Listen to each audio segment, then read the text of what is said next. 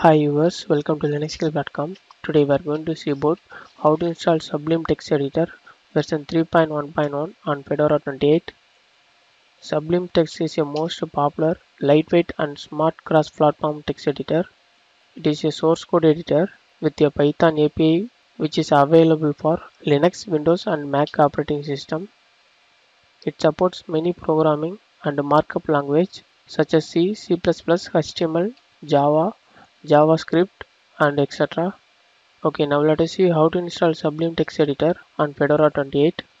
Okay, first of all we have to add the GPG key. Then we have to add the repository of Sublime Text Editor.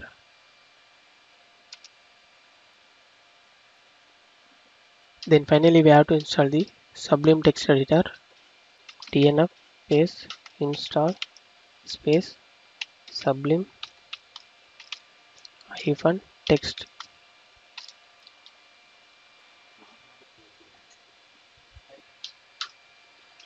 Click Y and continue the installation.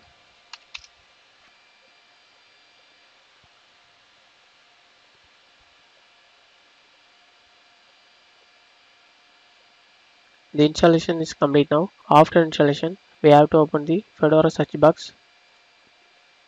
Here we have to type sublime the application is on the screen. Now we have to open this application.